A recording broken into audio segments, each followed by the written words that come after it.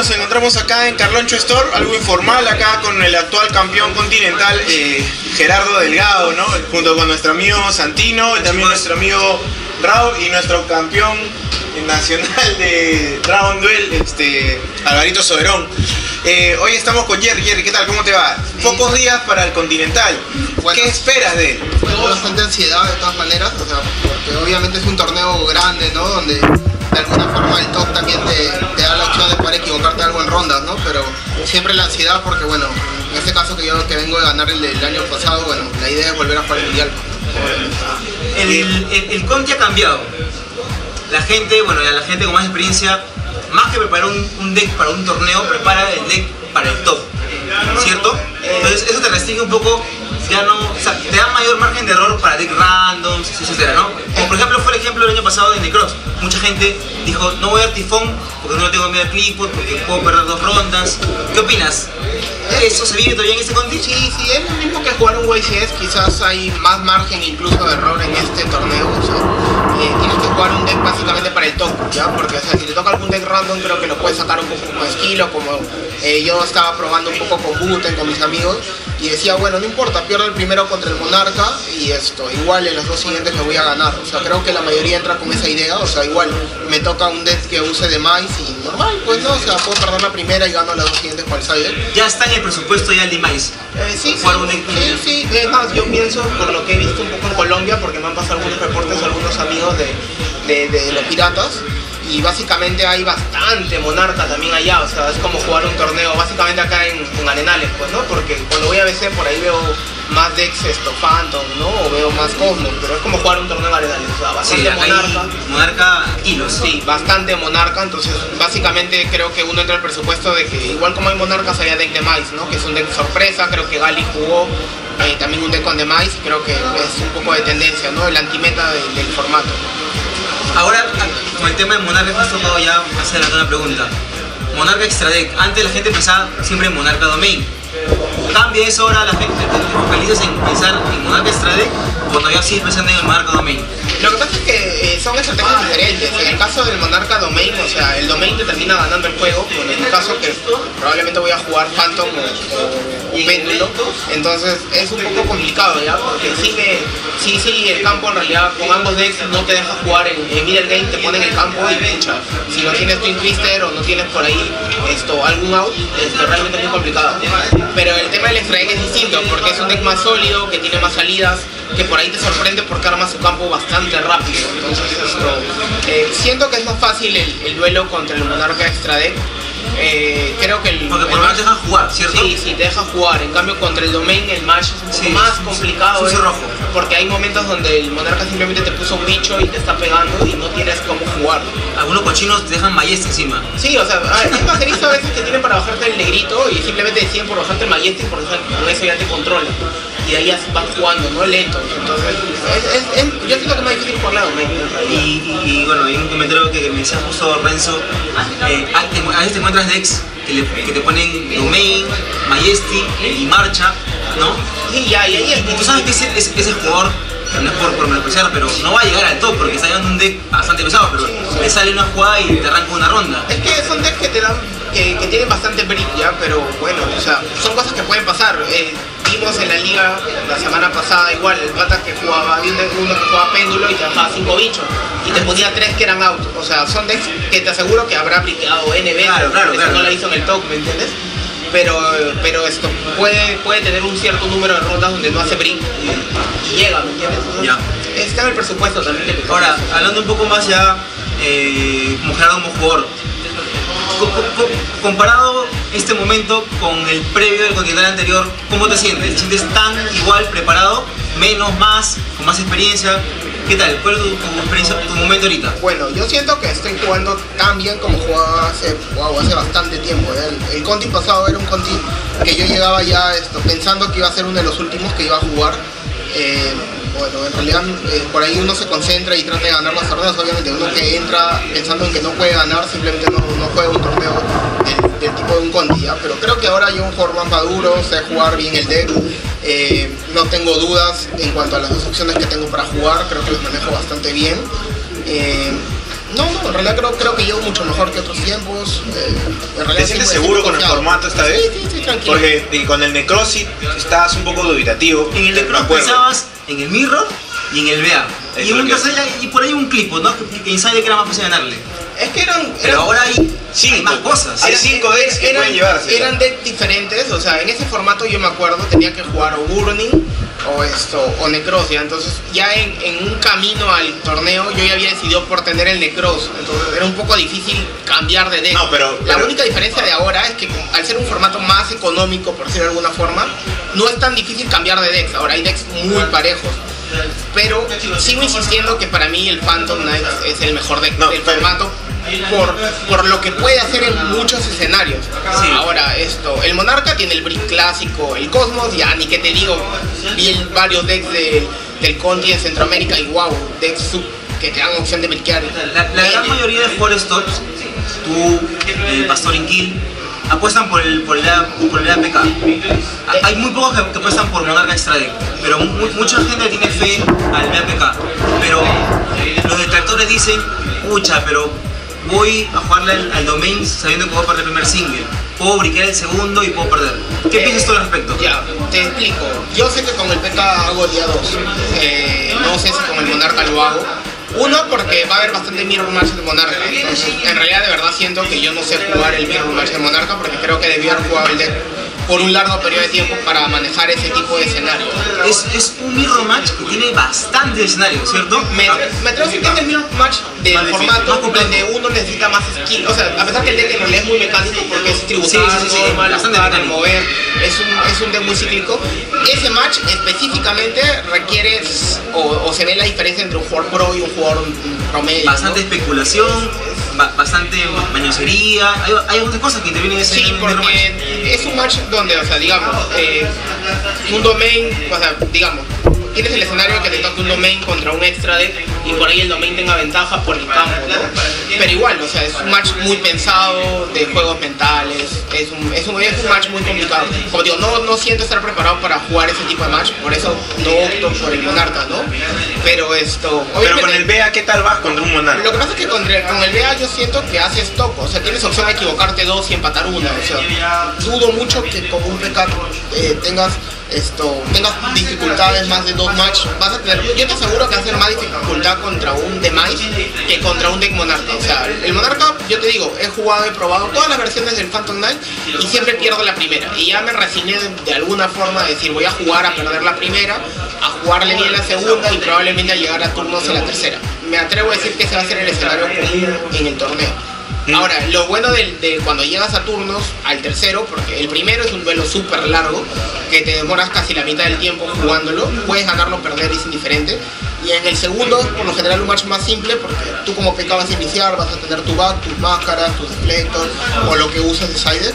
Y el match 3, generalmente vas a llegar a turnos y tienes tu barba. O sea, tienes bastante buenos escenarios para ganar. Hay una pregunta con respecto a que estábamos hablando contigo hace unos días, eh, el, el hype del péndulo. Ya ganó un nacional, me dices, en Francia. En, en Italia, Italia, en. Parma. Parma ha, ha- ha topeado, ha es, sido el primero. es un Claro. hype, crees que se consolidó, puede, puede tentar ganar el Conti.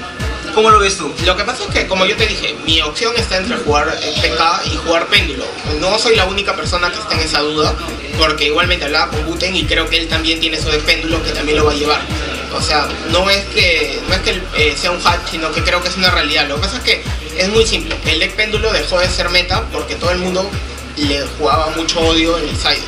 Todo el mundo tenía entre 5 o 6 cartas con el péndulo y todo era contra También, el péndulo. ahí, ahí el tenemos que péndulo. acotar algo. Lo que pasa es que en el momento que estaba el péndulo en su apogeo, era el péndulo, Cosmo y recién que No, estaba hay- apareciendo hay una gran diferencia entre el peo. péndulo y Cosmo. No, pero Claro. yo hablo del momento. El momento Claro. que estaba el péndulo, habían tres decks.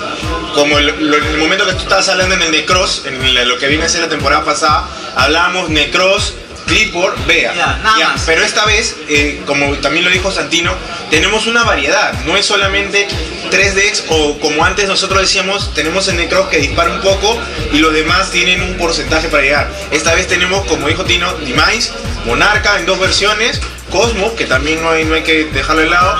Tenemos el Performapal ¿no? Y el Olive. Y, el, y, el- y la versión con el Mag Spectre con Odice, que los Mag Spectre también estaban a un lado y han vuelto a revivir también, ¿no? O sea, ahora, ahora es un poco más complicado Pero- saber pero- qué llevar. Pero ¿no? es complicado porque, mira, ese formato era un formato donde la mayoría de, de PKs usaba tres, eh, tres anti-spell frags. El anti-spell frags era bueno tanto contra el Monarca como contra el Mirror, contra el match contra PK. Ahora no, perdón, contra el match contra Péndulo. Entonces tenías mucha ventaja. El Péndulo deja de jugarse por eso y la gente opta por hacer una trilogía entre Monarca, PK y Código. Esa fue la, la Claro. lucha constante en un tiempo el formato y obviamente por los resultados que hubo primero por Moyo en el YCS donde topea con un péndulo la gente vuelve a jugar péndulo y luego se comienzan a, a combinarlo con los Magic Spectre con los Olive y vuelven nuevamente los péndulos a meterse a la Pero por eso te quería preguntar también algo. O sea, ahora el side deck es un poco más chico. Antes tenías tres decks que eran tu side deck y normalmente el side deck es de 15. O sea, podías llevar tres para uno. Como tú mismo dices, un odio al péndulo, llevas seis cartas contra el péndulo. Pero ahora que tienes la variedad Demise, que puede ser Yosenju, Clipper, varios decks que están llevando Demise, estatuas, como me dijiste, comentamos lo de Galileo, ¿no?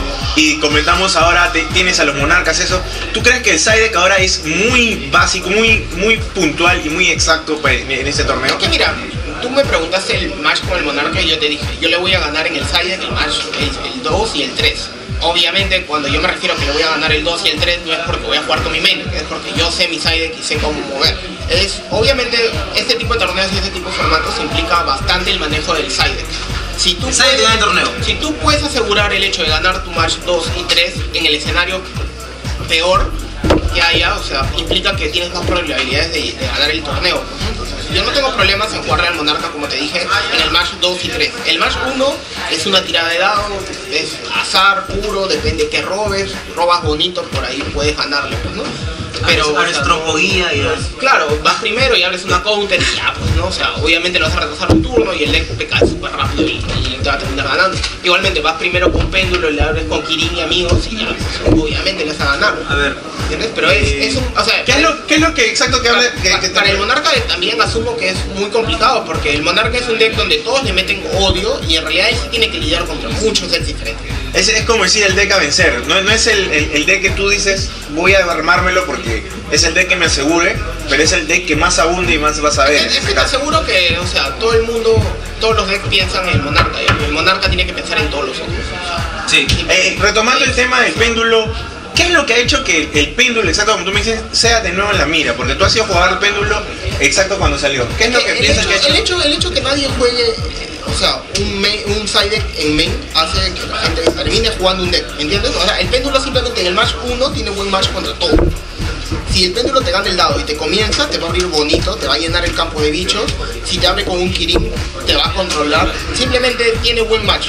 Puede jugar el primero. Obviamente, en el segundo sabe que le van a meter el odio, pero él también puede sacar su side y puede jugar. Ahora, tienes opción de, si no ganas la segunda, ganar la tercera, pero el péndulo por lo general está ganando el match 1. A la mayoría les, está ganando el primer, single. O eso es mucha ventaja, porque ganar el primer single implica que tienes dos, tienes posibilidad de errar en una. O sea, te da bastante buen, buen match, como te decía. O sea, hay decks que pueden pensar en perder la primera y ganar las dos siguientes. Y hay decks que simplemente piensan en que ganan la primera y tienen dos chances de poderlo pasar. El péndulo está pasando por eso. O sea, eh, hay jugadores muy específicos que están jugando el deck péndulo porque les gusta el tema de, de- el extra deck básicamente son cartas en la mano. ¿ya? Entonces, cuando tú las haces Claro. péndulo en realidad te estás haciendo más unos. Y hay gente que le gusta jugar ese tipo de cartas. Y el deck es, es muy bueno, o sea, es muy versátil, a menos que el oponente te abra muy bien. O sea, ya no va necesitado de va- girando el tema, eh, la escena competitiva en Latinoamérica. ¿Cómo sientes ah, con respecto al año pasado? ¿Hay más jugadores que han, han destacado? ¿Sientes que está en un momento muy igual? ¿Cómo crees que ha cambiado eso con respecto al año pasado? En cuanto a Sudamérica, creo que el mejor jugador, el rival a vencer va a ser Andrés Torres. Creo que él viene de ganar eh, varios torneos y hacer toque en torneos importantes. Creo que eso está además, eh, ni siquiera discutirlo, ¿no? Él es el jugador a vencer, digamos, el que llega con más pergamino. ¿Estás en el mejor momento, Andrés Torres, ahorita?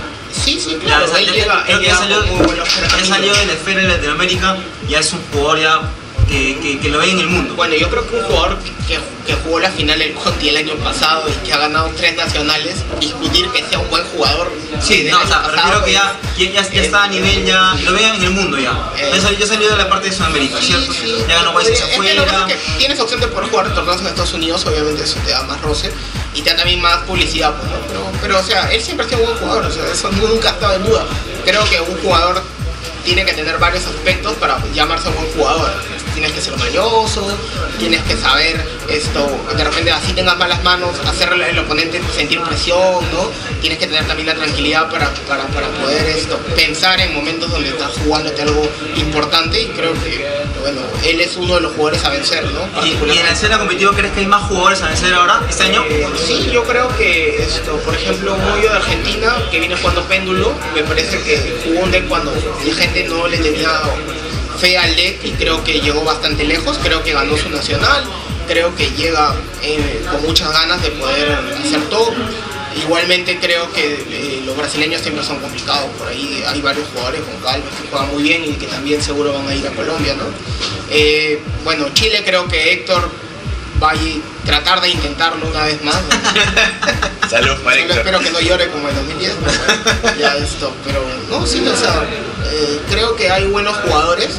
Eh, ahora, Colombia salió un poco caro, creo, la mayoría de países, el tema de los pasajes, y creo que no. Sí, estaba hay- más caro el del, no del va- continente, ¿no? van a ir muchos jugadores, pero, pero nada, o sea, eh, creo que si bien es cierto, Torres puede darte una referencia de- del nivel de Colombia, ¿no? probablemente sí haya mucho que cuidar. Hay algunos, eh, no hay como otros años que por ahí era más parejo, tú podrías decir 4 o 5, ahora por ahí es más, más restringido el tema de decir quiénes tengan chance de ganar. Además no olvidarnos que también esto, eh, Osores va a ir, pues, ¿no? Y él también va a jugar torneos en Estados Unidos. Claro, nunca, puedes olvidarte gente de Ecuador. Aquí también va a haber gente competitiva, ¿no? ah, de Arnold, que va a ir a ganar, de Estados Unidos, ¿no? Así que no, no, sí, o sea, buenos jugadores va a haber, ¿no? El tema, como te digo, es que en el top ya cambia, ¿no? Porque en el día 2 eh, ya tú ya te esperas básicamente PK y Monarca. en realidad no espero otra cosa que PK y Monarca. esto. Y por ahí un péndulo, un cosmito ahí filtrado, puede Sí, ser. Siempre ya llega es- uno. Entran- por cantidades. ¿no? Sí, por sí, cantidades. Pero, pero están entrando los cinco, ¿ah? No, no, hay- no hay, no hay que negarlo. Sí, sí, sí. Están, en- están entrando los monarcas, del péndulo, hasta el Dimais. Está, está entrando uno o dos, pero están entrando los la variedad. mayoría, el, el- el grupo fuerte, lo grueso, es PK y, y Monarca. O sea, yo, sí creo, creo que tengo más probabilidad en un top, o un 80 o 70% de que te toque un Monarca o un, o un PK a que me toque otro. O sea, si me toca otro, bueno, pues no, normal. Pero sí, sí, o sea, los dos ex a vencer son esos dos, creo. En todos los torneos se ha demostrado que van más a Y jugar. hay un- una partecita también del Sague para el Dimais que es bien fregado, porque si se planta, una, una plantada bien del Dimais es el Es que no, no tiene forma, como, como yo me acuerdo que empaté en el Nacional con un Demise en la primera ronda y simplemente me chantó bien, me abrió con Demise y ya. Yo, yo creo que el side pierde con un, buen Team Twister y creo que puede salir del, del problema. Tengo dudas respecto a eso, ¿ah? yo pienso que tú estás viendo que están jugando muchas cartas contra el back, Full House es una de las cartas que la gente está usando, simplemente porque es muy, es muy difícil lidiar contra Full Games, o sea, eh, no es tan fácil, o sea, es normal que te activen una counter, bueno, lo puedes lidiar, aguantas y el siguiente turno juega, pero una Full Game en realidad al deck, esto, PK, pucha, es, es bien, bien, bien, bien complicado, bien complicado. Bueno, como para acabar ya eh, todo esto, ¿qué expectativas tienes en este continental? Tus últimas palabras. Bueno, ya, si yo creyera que no puedo ganar un torneo, simplemente no lo juego. Es así que, eh, igualmente, no, tratar de jugar tranquilo. Por el B. Por el y, esto, y si ya gané una vez, dos veces un nacional, supongo que puedo intentarlo. Ya bueno, saludos para alguien en especial. Eh, bueno, para mi enamorada, para mis amigos, que nos vamos a ir esto, a Colombia a practicar bastante y ya, pues no, tratar de practicar. para, para Perú. Bueno, eh, Un solo poco- practicar. un Ya, poco de y- y traernos un poco de turismo y traernos el trofeo, pues no, al menos. Eh, si no soy yo, creo que algún peruano tiene que traer el trofeo porque esto, creo que los peruanos estamos haciendo buen papel en los últimos torneos, ¿no? Entonces, eh, tratar de mantener eso. ¿no? Y además, mucha, les puedo asegurar que jugar un mundial es muy, pues, es muy divertido. Créeme que cualquiera. No, esta vez es en Estados Unidos, ¿no? Sí, esta vez en Orlando, así que si es alguna vez para en traer Japón, peluches. es- no, no hay para traer peluches, pero igual, ah, hay para traer peluches de Disney. Ah. Bueno, gracias. Muchas gracias. Listo. Hasta luego.